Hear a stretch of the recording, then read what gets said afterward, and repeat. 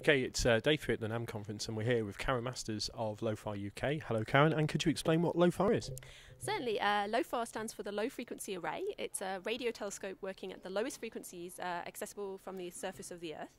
Um, it's an array telescope, and what that means is that the antennas are, are spread out right across Europe, actually. Um, uh, in different stations. Um, the core of LOFAR is in the Netherlands, and, and the Dutch uh, group Astron run the LOFAR project. Um, but there are also international stations. There's five of them in Germany, one in France, one in Sweden, and we have one in the UK. Okay, and unlike traditional radio telescopes, this is non-steerable. You're kind of almost going back to first principles of radio astronomy, aren't you? That's right. Yeah, the antennas themselves. Um, each station is made up of 96 antennas. Um, actually, 96 times two, because we have uh, different types of antennas for the two bands, which span the FM radio band, um, are, are either side of it.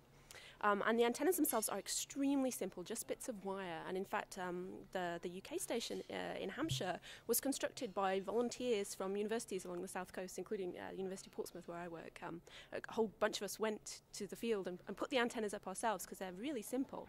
Um, but what you know, this is going back to the old technology that we used to use in the 60s, or not me, but people used to use in the 60s t- to do radio astronomy. But the reason that, that it's, you know, it, we've gone back to this is because of, uh, of the internet, because of high speed internet, and because of supercomputers. We can combine the signal from these many thousands of arrays across Europe and synthesize a telescope the size of Europe. So, how do you point it? It's some kind of time delay array system, or how do you actually point it at an object in the sky? That's right, there's absolutely no moving points, uh, mo- moving parts. All the pointing is done in software. And uh, so what, what, what, happens is if you imagine if you're looking at a source that was directly overhead, um, the signal from that source would hit every antenna in your station at the same time. But if you were looking at a source sort of down on, on, on the horizon, the signal would hit the antennas on that side of the uh, station just a little bit before the ones on the other side. And so by introducing electronic time delays, you can choose which part of the sky to point at. And what's really cool is you can use the same data to point at different places at the same yeah, time. I've, I've been seeing about that. You can be observing multiple objects in, in parallel as well. It seems like an amazing new advance in technology, really. Yeah, it means that it, uh, it's really cool. So the, the, the, press release I imagine you're referring to is yes. uh, looking at pulsars with, with LOFAR, and they looked at five pulsars at the same time. Um, and it, it's quite important for certain types of types of astronomy to be able to do that.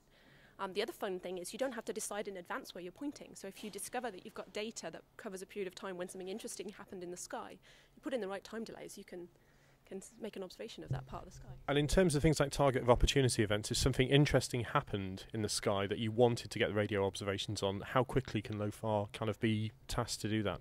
Well, pointing is basically immediate, right? Because it's software. I mean, it's just going to be uh, in terms of coordinating the array right across Europe and, and how much of it you want to include. Um, we do uh, at each station, um, some small fraction of the data is saved, or it's saved for a small time delay. So if you were linked with a satellite or linked with something that was detecting uh, TO target of opportunity stuff, um, you can go back a few minutes, I think, but it's actually an enormous, as you might imagine, with thousands of arrays, it's an enormous data flow, and so we just can't possibly save it all indefinitely. So what happens with the data? And you've got this, like I guess, terabytes worth of data streaming out of this thing all the time. Well, what are you doing with the data? Are you storing it in the cloud, in the cloud computing system, or are you putting it onto servers, or how are you how are you managing it? At the moment, I believe uh, what is stored is stored in the Netherlands. There was some discussion of having um, what the, the, stuff that comes from Chilbolton stored in the UK. I, I, don't actually remember where we've got to with that. Um, the Chilbolton station is the equivalent of 50,000 broadband internet users in this tiny village in Hampshire. That's the internet connection we have uh, to the Netherlands, and that's the dominant price of the UK station. The parts and all of that is, is negligible. Amazing, amazing. And you've got this staggering, it's 1,300 kilometres across, I believe, in, in terms of the total array size, something along those lines. that might be the final size. And you've got this enormous field of view. I mean, you compare to something like the Hubble Space Telescope in the optical, and you've got a very, very narrow field of view. And the Faulkes telescope that I use quite a lot is around about four or five arc minutes in terms of field of view. You've got this staggering field of view. I mean, what kind of observations are you able to do? Um, well, all sorts of observations. Anything that emits at low frequencies can be observed with LOFAR. The reason you get that massive field of view, well, actually, if you just took one of those antennas, it's sensitive to, to radiation from the entire sky. Then when you add these time delays in, you narrow the field of view a little bit to, to, to, your, uh, to, to, to where you can point and where you can make images. And you get this resolution from a telescope the size of Europe by combining all the signals from right across Europe. So that's exciting. Um, LOFAR has such a lot of, of, interesting science goals. One of the key science goals um, is to try to detect the time in the universe when the first stars turned on. Um, so before there were any stars in the universe, um, the universe was mostly neutral hydrogen, and that emits a characteristic uh, frequency, which is in, uh, which at high redshift has been redshifted into the, the low frequency bands that LOFAR detects. Um, when, when, the first stars turn on, very quickly all that neutral hydrogen becomes ionized and stops emitting that radio frequency. And so with LOFAR, we hope to detect that sort of step in, okay, at these redshifts there is this radio frequency, and then suddenly it turns off. And that really actually helps to pin down a lot of information about cosmology. So I, I, saw one of your recent press releases. You were observing a quasar 3C196. Um, what kind of science are you getting out of that?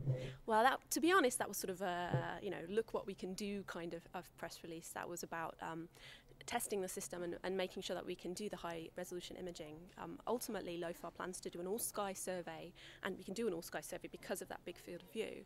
Um, but you also get arc second resolution at these meter wavelengths. It's an amazing resolution. That image impresses me so much. At the resolution of that image, you could tell the time uh, from Big Ben looking at it from Amsterdam. It's astonishing. Are there any plans? I know you said it's mainly based um, in the Netherlands and across Europe. Are there any plans to do kind of LOFAR in the southern hemisphere so you would get true all sky coverage?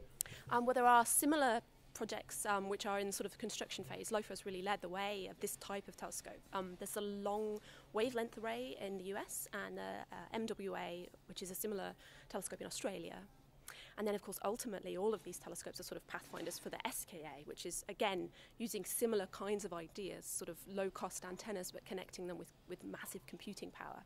And, and that's going to be much, much larger again. So. And SKA, they're planned some of the destinations for South Africa and Australia. So, because yeah. obviously, the, the other thing that was interesting with it being based in Europe, the amount of radio noise that you get from ground based emissions, from terrestrial noise. I mean, how do you, how do you cope with that? It turns out to be not as much of a problem as people initially thought it might be. Um, because those signals are terrestrial in origin, um, and because we have so many different antennas, you can actually sort of filter them out in the software. Um, all of those signals are from close to the horizon, so you imagine you can you can sort of take that out. I mean, obviously it has some effect. One massive effect is that we're unable to observe anything in the FM radio bands. So we just there's just there's no hope of doing any science in those those frequencies. So the two bands are either side of it.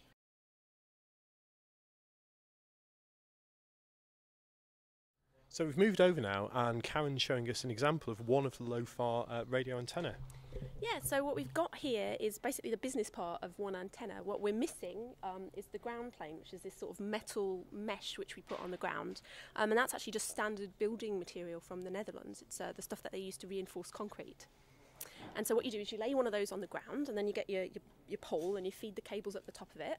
Um, we stick. This is called the low noise amplifier. Um, we attach the cables and stick it on the top. And then these bits here are actually the wire, uh, the antennas. There's metal wire in here, and we, you need four people basically to do this. Or it's almost like pegging up a tent, isn't like it? Like pegging a tent. I often describe these as like tents, but without uh, without the canvas. But yeah, you, you, you, you peg each of these at the corners of your ground plane, and, and you're good to go. It seems really, it's an amazingly simple kind of design. I mean, you've got this top piece, as you said, and that's about £200, you yeah, said? something like £200 on that order. Um, and as I said, that the hardware is really not the expensive part about LOFAR. Um, obviously, we, we have the cables coming up the, up the pipe, and um, in a single station, those are then they're dug in trenches underground, and they go to the container where some of the processing is done before that signal is then sent on to the Netherlands. Um, and so that cabling and, and laying the cables was a massive job, and that that was really the expensive part about the installation. The people doing this, as I said before, were volunteers, uh, astronomy researchers who plan to eventually use the data from LOFAR. It's almost like domestic drain pipe. I mean, the thing I'm holding here, the, the support structure for it really is just a plastic tube. It's, it's it nothing really sophisticated. I mean, they're a fixed size and, and height, obviously. And then um, the LNA they have a, a, specific orientation you have to get right, but it really wasn't that complicated. So the volunteers at Chilbolton, we did we did all of this, and then we had one guy who would come around and make sure everything was was hunky dory and the angles were all right and the connections were good, and and and we built a radio telescope, which was immense fun. It's quite amazing. It's almost Heath Robinson, but it's providing some of the most sophisticated radio data pretty much in the world at the moment. And I'd like to thank Karen uh, for giving us the time. Thank you.